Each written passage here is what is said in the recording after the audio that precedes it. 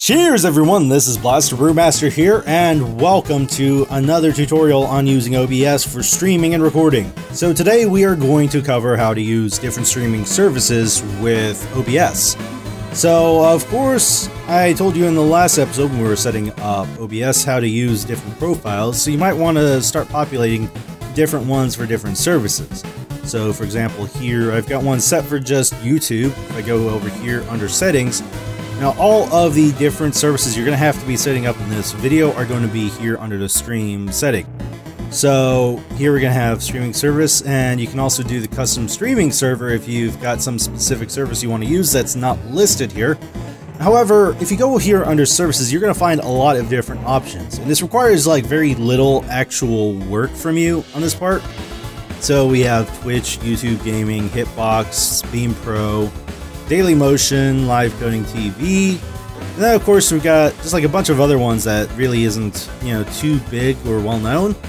But at the same time, you can see here that we've got a couple ones I mentioned before. We've got Joicaster here and Restream.io. So those are going to be a couple of different services we're focusing on here today. So we've got YouTube and YouTube Gaming here.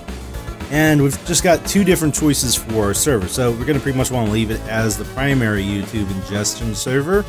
Then we're going to populate our stream key right here. Just in order to show you how you go about finding that, I'm going to go to my dashboard. And I'm going to block off stuff that you really don't need to be seeing, but I'll kind of point out exactly what we're going to go to. So once you're here in the dashboard, you're probably going to need to go under channel first if you have not enabled live streaming. And you'll see right here, this is the status and features area. We're going to have the live streaming right here. Now, I don't believe you can really turn this off after you've turned it on, but we just want this to be green here, so we need to turn on live streaming here. Now, we're going to go under live streaming next. And once we are here, this is going to be where we're going to set up exactly everything that we're going to do with the live stream. So here you can see I've got the title, I've got the description for what we're doing here in this live stream.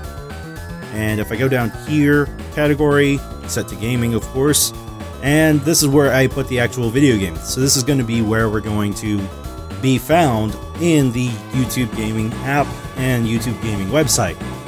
Now, over here, this is going to be your stream key. I'm not going to reveal this or anything, but you need to copy this and go back into OBS, and let me go to the one that we're actually going to be demonstrating this in, and this is where we paste that stream key. Okay, and we'll just hit OK here. I'm going to leave that as it is, though. So, back on the actual dashboard for the live stream. So just make sure we've got everything set up. Now you can go here, we've got stream options, we can enable DVR. Most of these things are already kind of turned on. If you find you need to add any sort of a delay, you can add that right here. Now you've also got, you know, make archive unlisted when complete. That'll keep people from being able to go and watch your live stream once they've completed which you may want. I personally use that myself because I'd rather actually take the live streams and cut them up into episodes. The way to kind of stretch out the content and also refine the content too. Monetization, you can monetize with ads and then cards. This is going to be here populating on the right side, gives access to, you know, different content you want. Here is your chat window, so you're going to see, you know, anyone that's talking with you, you're going to see right here. Analytics, this is going to let you know who is watching right now and how many messages have you received. And if you need to keep track of any of you know your stream health right here, this is going to tell you if you're having any problems with it. Finally, here we've got the option to be able to share out to different services. Okay, so that was the YouTube service. Now let's go ahead and just switch this over to Twitch. I'm not going to save this on this profile or anything. But basically a lot of the same stuff that we have to do on the OBS side. Nothing really changes through any of these. We do have different servers that are available though, depending on the service. So Twitch here only has US San Francisco if you're in the US, various Asian and European ones, South American. Uh, here's a couple other US ones that also work too. Now these are probably going to be just different ones you can play with and just find out which one has the best and solidest connection. Now you may find that local ones may work better or the San Francisco one may work better. I personally haven't really tried specifically focusing on Twitch only. I kind of usually either use YouTube or, you know, live stream to both services at the same time, which I'll talk about in a second. But I'm going to leave this, of course, back here. Cancel out of that. We're not going to really demonstrate how to do all that all over again. Instead, let's go to the Twitch side of things and take a look at how that works. It's a lot simpler here, because we're not really putting in all that extra content like we are on YouTube. We're just putting in what's the title for our broadcast and what's the title for our game. Chat is going to show up right here on the right hand side, and here's where we can see the preview for our video. Now underneath here, you know, it's telling you, are you online or not? How many views have you had? And how many followers do you have? Now, a lot of the rest of this stuff is going to probably be a little bit more inconsequential to you until you start becoming really big on Twitch or anything. We have editors here, which allows you to give access to your channel's dashboard to other people, in case you know you start wanting to have other people help you manage your actual channel. The same here with the dashboards. You can grant other channels, you know, access to your dashboard as well. Activity here just shows you all the stuff you've been doing with your channel recently.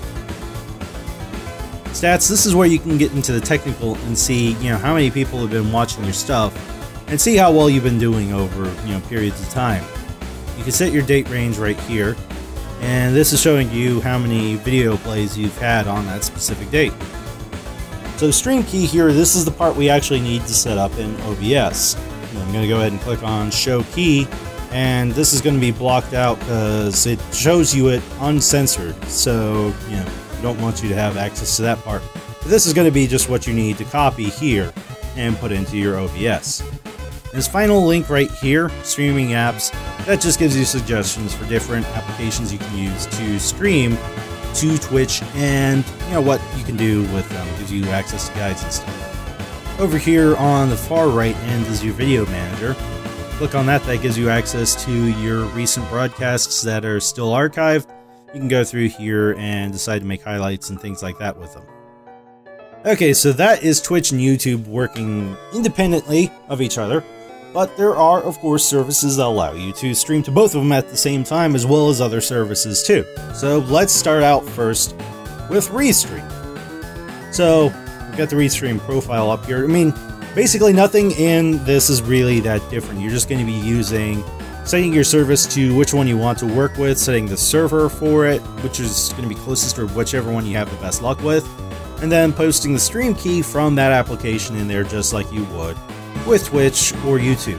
Now the thing is though that the two that I'm talking about here, Restream and Joicaster, work very differently. So I'm going to bring Restream up first. Now here is Restream.io. Now they've changed things quite a bit since the last time I was actually directly in their website, but the main concept of how everything works is still pretty much the same. You can see here all the different servers that they have available and where exactly that server is. In case you want to test anything out, you can use this right here. I've cleared out my channels list a bit right here, cut it down to just the YouTube one so we can add a Twitch one. I'm going to click on add channel and add Twitch and just connect to Twitch. It'll just take me in and allow me to authorize my access to Twitch so that the service can stream to it. Okay, let me get this little message here, just clear that off.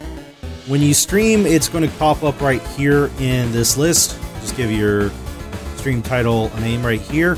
And also under here, under social alerts, you can connect to your Twitter, your Facebook. You may have to reconnect it every once in a while. And then here's the message that's going to push when you go live.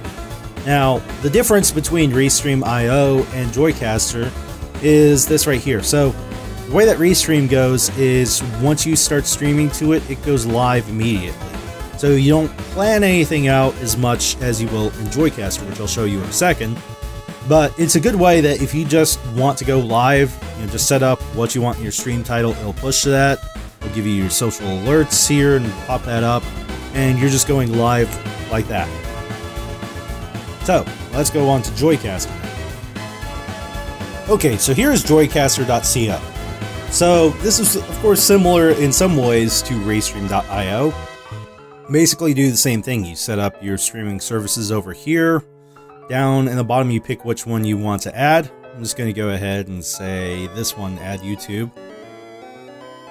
And I've got this pre-saved one, but I'm just going to go ahead and say create a new stream profile. Go ahead and call this one YouTube Gaming. Next here. and it's going to ask to do the same thing. We just go and click next, connects me over to Google, and I just pick which one I want to go ahead and associate. So that's been added now. So I'm going to go ahead and remove it though because I don't need to keep this one on here. Just a demonstration to show you how to use it. Now, the biggest differences between Joicaster and Restream. As I mentioned with Restream, it's pretty much you start streaming, you go live immediately. With Joicaster, you don't. You start streaming and it'll start popping up here on this little box right here, but you're not live until you hit this broadcast now button. So, first thing though, you can set up everything you need to for your live stream, which is a really, really nice feature. Of course, if you want to just go live immediately, it's a lot more of a pain than it is Restream. Because you have to go in here and set up some basics at the very least and just hit broadcast now. It doesn't work like that with Restream. But anyways, so we're going to go ahead and give this a title, Test Stream for the Win set up a category, which pretty much we're going to want it to be gaming in our case. Of course, we can do other things if we need to. And then the summary, it's going to pop up in your description too. Live stream test. Now you got to go into advanced broadcast settings if you want to pop in any extra stuff. You could just leave that and go live. So, you know, enough to kind of get going there but you can put in extra description right here. You can fill in all of your tags you want to put in here. You just separate them with comma. Go over to promotional settings to set promote on Twitter, promote on Facebook, set what your message is going to be right here.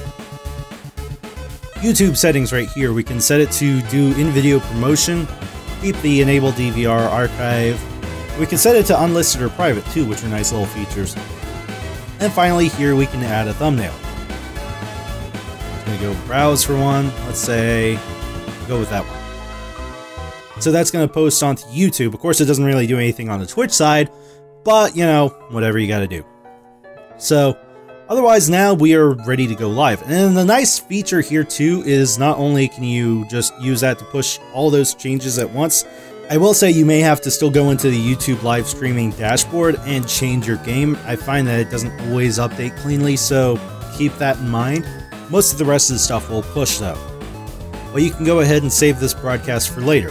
It's going to ask you what your game is, and you'll get this also when you go for broadcast now. It's going to ask you what game you want. And You just click next, and then you can schedule it for when you want to go live. Say what the start time is, duration, how long exactly this is going to last hours, minutes, that sort of thing. Okay, and so here is our live stream that we're going to be doing on this date. Now, as you complete live streams, you can go here under Show Recently Completed Ones, and you could just go ahead and pop that up if you want to go ahead and use that as a base template for another live stream later on. Keeps the same thumbnail, keeps pretty much all the same settings, so you don't really have to do anything, which is nice. Now, the one thing I will say, though, that is a little bit annoying. If you do use the feature for saving broadcasts for later on, it's not going to go through your normal live stream dashboard on YouTube. You'll do it for Twitch, of course, because you don't really have two different sections for it. It will push, though, as its own separate live stream that's been pre scheduled. So that's one thing you'll have to keep in mind if you use this. Now, over here, we have the live chat beta, which is going to give you all your combined chats into one. Now, if you want to pop this out, you can go here to settings and open a new window, and voila. There we go. We use the chat, and there we have it. Now speaking of which, Restream has its own little chat service. This right here. I'm going to click on that, it's just going to ask to verify the application. It may ask you to update and everything. Just let that happen, and it does.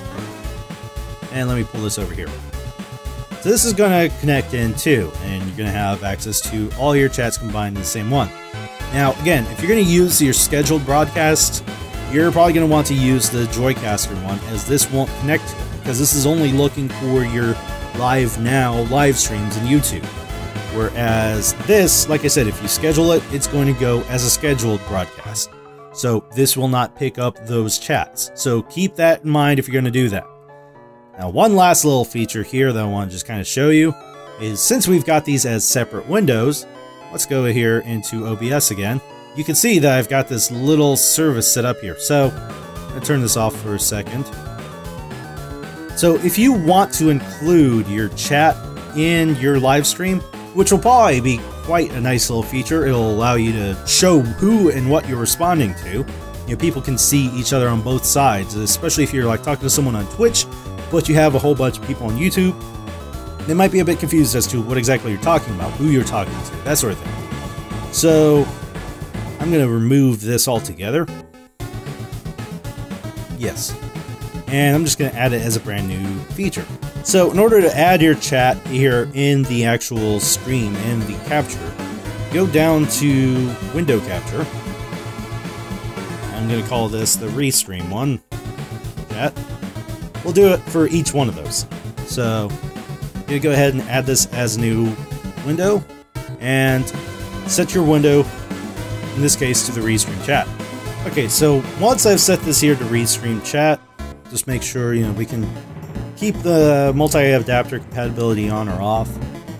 Capture cursor for this we probably won't want because we don't want that cursor to show up if it happens to pop over there.